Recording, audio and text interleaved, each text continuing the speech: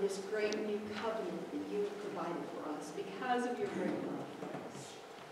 We thank you for the outstretched arms of Jesus as he willingly gave up his life so that we may live eternally with you. We thank you, Father, that everything that we need you provide, not just here, but in the hereafter. And so today we once again present our lives before you. We thank you. And we offer all that we are, all that we have to you once again.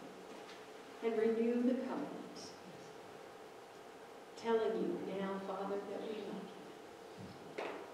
That we love you, Jesus, for shedding your blood. And we love you, Spirit, for being with us every step of the way.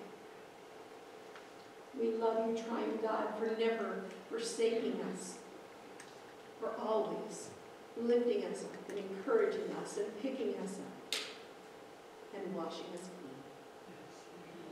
clean. So we give to you all that we are.